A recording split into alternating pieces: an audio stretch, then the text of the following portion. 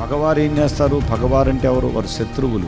ఈ పగవారు శత్రువులు ఎలా ఉంటారు అని చెప్పాడంటే ప్రభువారు వారు సింహము వలె ప్రవర్తిస్తారు అని.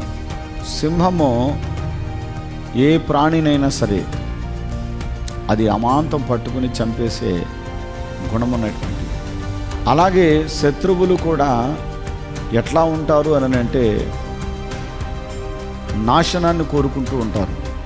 ఎప్పుడు కూడా నీ శత్రువు నీ నాశనాన్ని కోరుకుంటాడు. ఇప్పుడు ఈ శత్రువు ఎప్పుడు కూడా నాశనాన్ని కోరుకుంటాడు. శత్రువు ఎప్పుడు పతనాన్ని కోరుకుంటాడు.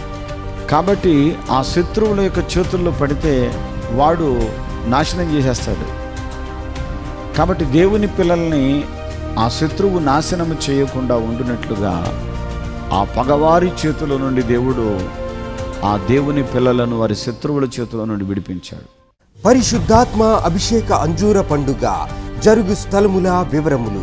పెద్ద డోర్నాలలో జూన్ ఇరవై ఏడవ తేదీ గురువారం ఉదయం ఎనిమిది గంటల నుండి జరుగును. స్థలం కల్వరి స్వస్థతిశాల పోస్ట్ ఆఫీస్ వెనుక కర్నూలు రోడ్ పెద్ద డోర్నాల.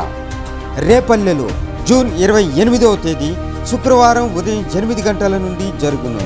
స్థలం మత్స్యకార భవన్ బస్టాండ్ దగ్గర రేపల్లె బాపట్ల జిల్లా వినుకొండలో జూన్ ఇరవై తొమ్మిదవ తేదీ శనివారం ఉదయం ఎనిమిది గంటల నుండి జరుగును. స్థలం గంగినేని గార్డెన్స్ నరసరావుపేట రోడ్ పల్నాడు జిల్లా. కొన్ని నెలలుగా తనను లివర్ సమస్యతో బాధపడుతూ ఉంది. అనేక మంది వైద్యుల దగ్గర చూయించుకున్నారు. ఎక్కడ కూడా నయం కాలేదు. మరి గడిచిన నెలలో మార్చి నెల పదవ తారీఖు మరి ఇక్కడ జరిగినటువంటి అంజూర పండుగకు రావటం జరిగింది. వచ్చిన తర్వాత దైవజనుల చేతుల మీదుగా అభిషేకం తీసుకొని ఆశీర్వదించబడి తదుపరి అంజూర పండును భుజించడం ద్వారా తనకున్నటువంటి లివర్ సమస్య తొలగిపోయింది. అంతేకాదు తను ఇక్కడి నుంచి తీసుకొని వెళ్ళినటువంటి ప్రార్థనా తైలం నొప్పి వచ్చిన దగ్గర ప్రార్థనా తైలాన్ని రాసుకొని ఆ ప్రార్థనా తైలాన్ని మరి తను త్రాగటం కూడా జరిగింది. ఆ రోజు నుంచి ఈ రోజు వరకు నా శరీరంలో ఎటువంటి బలహీనత లేదు.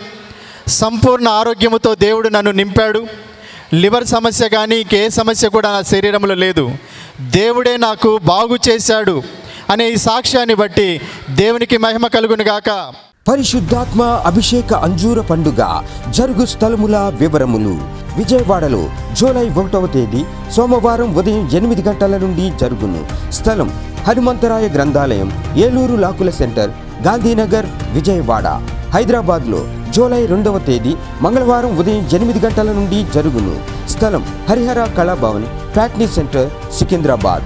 ఖమ్మంలో జూలై మూడవ తేదీ బుధవారం ఉదయం ఎనిమిది గంటల నుండి జరుగును. స్థలం మంచిగంటి భవన్ సిపిఎం ఆఫీస్ ప్రక్కన ఎన్ఎస్టి రోడ్ ఖమ్మం.